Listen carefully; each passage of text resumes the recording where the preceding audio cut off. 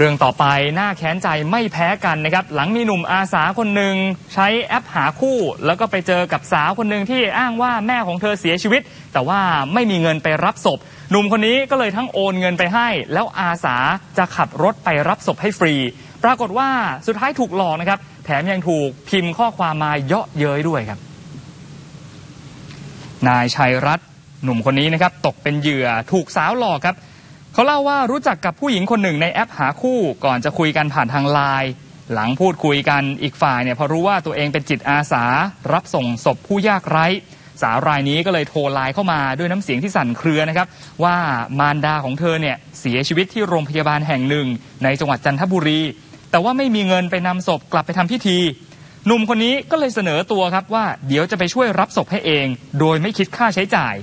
ขณะที่กำลังขับรถไปที่โรงพยาบาล สาวรายนี้ก็อ้างว่าขาดเงินค่าจัดการศพค่าฉีดฟอร์มาลีนนู่นนี่นั่นนะครับเขาก็เลยโอนเงินไปให้หลายครั้ง รวมๆแล้วเนี่ย 2,700 บาท พอไปถึงโรงพยาบาลปรากฏว่าไม่มีศพตามที่สาวคนนี้อ้างนะครับ พอพยายามติดต่อกลับไป